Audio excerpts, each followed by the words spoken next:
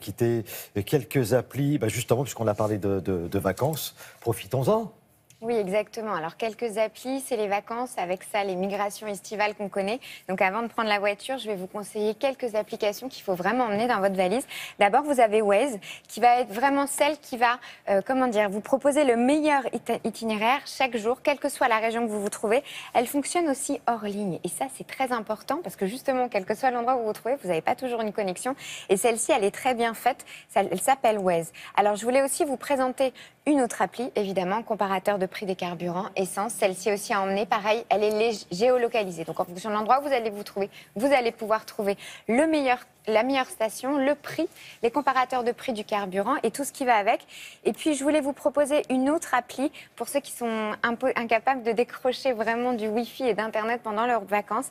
Eh bien, ça s'appelle le Wi-Fi Finder. Eh grâce à ça, vous allez pouvoir trouver un endroit, euh, quelle que soit encore une fois la région et l'endroit où vous vous trouvez, bah, là où vous avez du Wi-Fi, là où votre téléphone va pouvoir fonctionner peut-être répondre pendant quelques minutes à vos emails.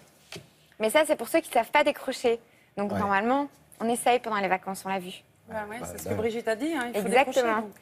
mais là, vous parlez à un spécialiste, donc euh, effectivement, j'ai un mal de chien à décrocher du, net. À accrocher ou à décrocher Oui, c'est plutôt accrocher, non? Mm.